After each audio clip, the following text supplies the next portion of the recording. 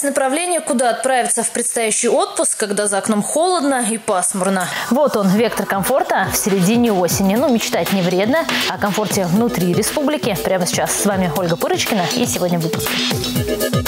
Чистая вода идет к вам. Что делают и планируют сделать в Чувашии по федеральной программе, нынешняя ситуация с водой в районах республики и интервью с заместителем министра строительства Андреем Даниловым.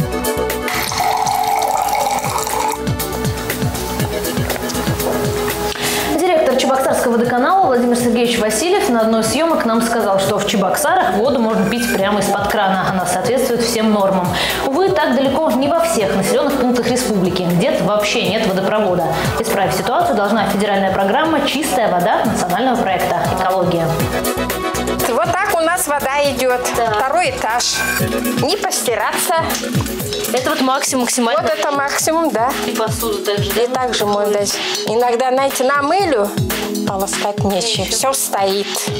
На одной улице не хватает напора, на другой из кранов течет ржавая вода. Такую ситуацию мы застали в Порецком в июле этого года. Причин несколько. Первое. В местной воде изначально в 40 раз превышено содержание железа. Чтобы решить эту проблему, построили станцию обезжелезивания проходит процесс аэрации воды, смешивания с кислородом. Для чего это нужно? Для более быстрого выпадения железа в осадок.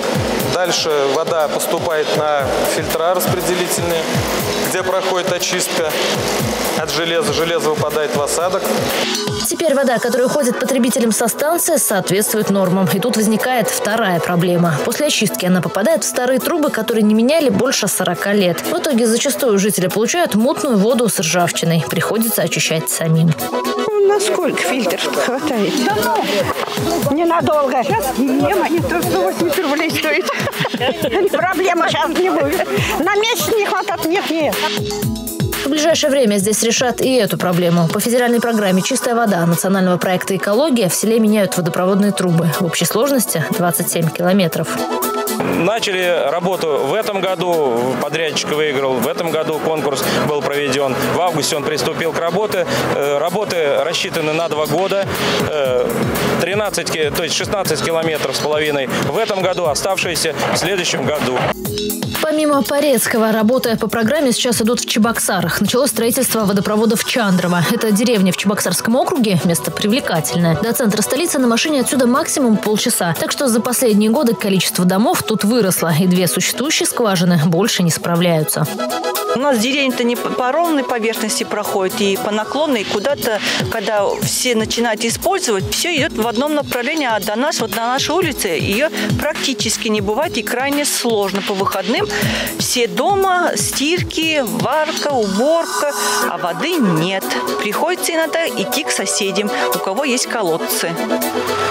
Чтобы удовлетворить всех потребителей, водой деревню будет снабжать Чебоксарский водоканал. Строительство водопровода идет по следующей схеме. Сначала увеличивают проходную способность труб, которые идут от повысительной насосной станции водоканала в северо-западном районе Чебоксар, чтобы через них мог проходить больше объем воды с расчетом на новых абонентов. На данный момент у нас э, выполняются работы на одном из самых сложных участков. На сегодняшний день у нас уложено порядка 250 метров стальной трубы диаметром 630. Трубы увеличенного диаметра проложат до распределительной камеры. Это порядка 400 метров. Параллельно с этим процессом начинается прокладка самого водопровода в Чандрово. Он пройдет вдоль трассы М7. Закончить работу должны к началу следующего лета. На очереди другие населенные пункты. В целом нам на республику в ближайшие 6 лет планируется выделить более 2 миллиардов 200 миллионов рублей средств федерального бюджета. И мы планируем построить более 370 километров водопроводных сетей в республике. Также э, эти водопроводные сети все-таки будут оснащаться водо, станциями водоподготовки, которые будут обеспечивать очистку э, подземных грунтовых вод э, до нормативного состояния. Воде продолжим говорить с заместителем министра строительства Чуваши Андреем Даниловым. Андрей Юрьевич, здравствуйте. Добрый день. Ну вот что касается Чандрова, там теперь будет водопровод. Жители, конечно, рады. Но вот сейчас они пользуются водой из артезианских скважин. Теперь к ним придет вода Чебоксарского водоканала. Вот они все-таки интересуются, они смогут как-то продолжать использовать вот эти вот скважины, да, то есть или только водопровод? А, по завершению строительства водопровода а, жители будут пользоваться чистой водой из качественной водой из системы водоснабжения, поэтому скважина, скорее всего, будет простаивать, а когда простаивает, она будет заиливаться. И на сегодняшний день по завершению строительства планируется скважину тампонировать, а саму башню использовать как аварийный накопитель. Я думаю, что в любом случае, да, люди смогут, если им нужно будет, это прожить колодец, да, где-то у себя, если они хотят, например, пользоваться также водой. Ну, я думаю, не будет необходимости. Все-таки строим новый водопровод.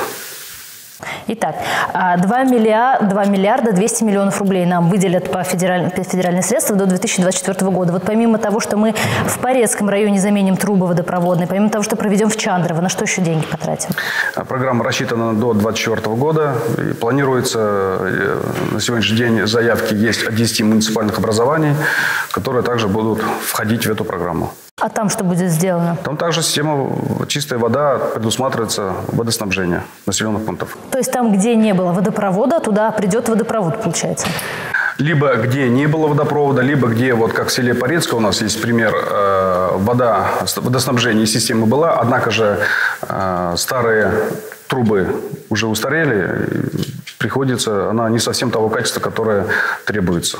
Угу. То есть там тоже вода будет лучшего качества, да, как и положено в программе «Чистая вода». А, что касается непосредственно Порецкого. А, понятно, станцию обезжелезивания постро, построили. А, заменим трубы сейчас. Вода, естественно, станет лучшего качества. Но это же все равно такие временные меры, потому что если в воде превышает уровень железа в 40 раз норм, да, что рано или поздно все равно трубы забьются. А, между тем, глава района мне говорил, что буквально в 5 километрах, по-моему, от нынешних скважин есть водоносные пласты, которые содержит воду, где ну, железо, оно соответствует нормам. Вот программа «Чистая вода» как-нибудь нам не может помочь вот, освоить именно эти скважины финансово? Да, это тоже возможно. Для этого муниципалитеты, главы должны э, предоставить Минстрой проектно-сметную документацию, прошедшую экспертизу, госэкспертизу. В этом случае, конечно же, можно участвовать в программе «Чистая вода». То есть я имею в виду, возможно ли э, получить финансирование именно по этой программе федеральной на эти нужды? Не будет ли это нецелевым расходованием средств? На сегодняшний день, э, то, что вот я же повторяюсь, 10 муниципалитетов уже в программе участвуют. И в случае э, острой необходимости в каком-то другом муниципалитете, то есть возможно корректировка возможна корректировка и участие того или иного муниципалитета в данной программе. То есть была бы инициатива исключения, была да, бы или что-то дописать? глав муниципальных возможно. образований это все возможно. Ну что, я думаю, что сейчас глава Порецкого района слышит, что все на самом деле возможно. А что касается именно водонапорных башен, тоже стоит острая проблема. Их, конечно, ремонтируют. Есть разные программы, например, инициативное бюджетирование. Глава Чуваши Михаил Игнатьев подписал тоже указ по улучшению качества жизни, и средства на ремонт водонапорных башен будут нам выделять, в том числе из республиканского бюджета. А вот тоже здесь чистая вода никак не предусматривает вот эти вот расходы. По данной программе, э, по программе «Чистая вода» предусмотрено э, строительство, реконструкция, модернизация систем водоснабжения. Касаемо то, что вопроса включения скважин, башен. водонапорных башен в программу «Чистая вода», здесь, наверное, она, скорее всего, пойдет по программам э, инвестиционным ресурсоснабжающих организаций. То есть это отдельная программа. Если будет у муниципалитетов опять э, будет выходить с инициативой о включении Э, с вопросами о модернизации, о улучшении для жителей республики, будем, мы готовы рассматривать, мы рассматриваем, будем находить варианты решения вопросов. Когда чистая вода приходит, э, доходит до населения, это, конечно, очень хорошо. Есть еще второй вопрос, чтобы также наши канализационные стоки уходили в наши реки тоже очищенными, да, чтобы э, вопрос экологии и так далее. Вот здесь как-то, что будет сделано или планируем? Также в Чувашской республике действует программа оздоровления Волги, которая также входит в национальный проект «Экологию». Цель программы оздоровления Волги э, – это улучшение экологического состояния реки Волги, э, в том числе за счет очистки сточных вод, которые попадают в реку.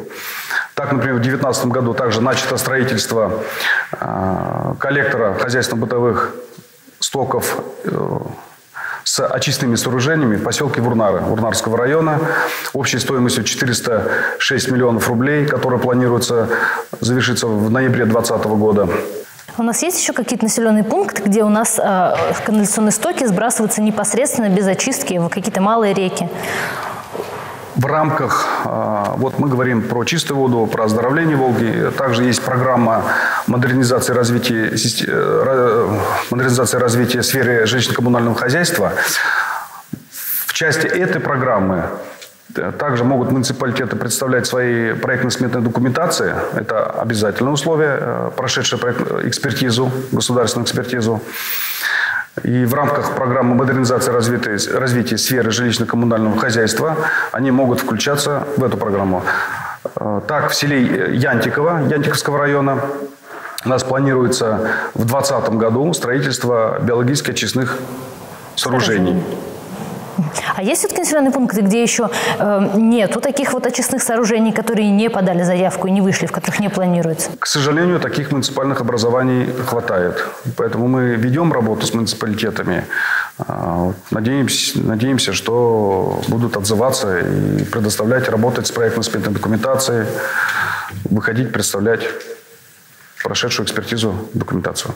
Ну что ж, спасибо. Я напоминаю о чистой воде. Мы говорили с заместителем министра строительства Чуваши Андреем Даниловым. Это была программа «Вектор комфорта». До свидания.